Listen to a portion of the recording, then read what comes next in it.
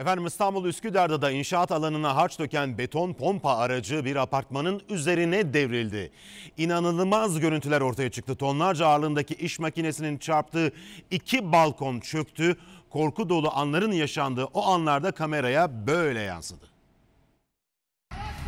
Sağ sağ sağ sağ. Sağ yavaş yavaş.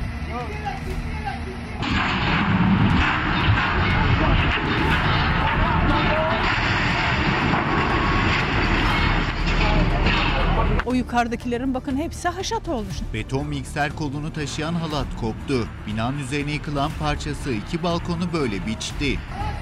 Sağ sağ sağ sağ. Sağ yavaş yavaş.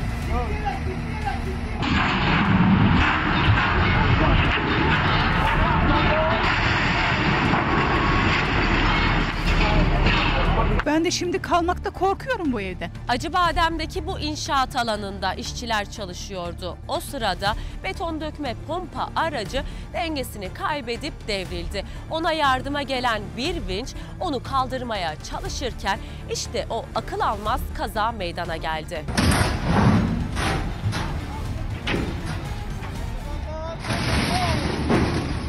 Pompa dengeyi kaybetmiş, yaslanmış. Balkonumdan girdiler.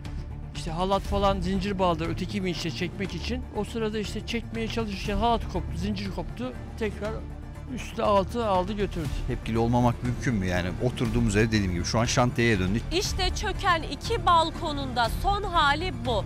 Şans eseri balkonda kimse yoktu ve kaza ucuz atlatıldı. Kaçtı göz arasında aşağı indim. İnmese orada olsaydık mesela o bizi de alır götürürdü yani. Orada masamız, sandalyemiz, bir rafımız vesaire vardı. Ama artık hiçbiri yok. Hepsi indi aşağı. Evin sadece balkon kısmı zarar görmedi. Yatak odasında bulunan kalorifer peteği devrildi.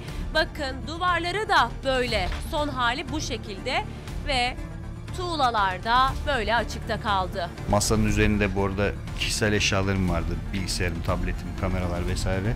Onların hep üzerine moloz inmiş vaziyetteydi. Beton mikserinin ön denge ayakları açık, arka ayakları ise kapalıydı. İhmal ve sorumsuzluk net bir şekilde gözler önüne serildi. Olası bir facia çok ucuz atlatıldı. Devrilmiş araca baktığımda denge ayakları açık değildi. Şantiyenin en uzak köşesindeydi. Dolayısıyla devrilmemesi mümkün değil öyle bir aracın. Büyük tehlike atlatan apartman sakinleri inşaatta önlem alınmadan yapıldığını öne sürüp sorumsuzluğa tepki gösterdi. Bunlar buraları hep kırdılar, döktüler. Her şey yapıldı yani. Ama hı- hızlı çözmeleri gerekiyor.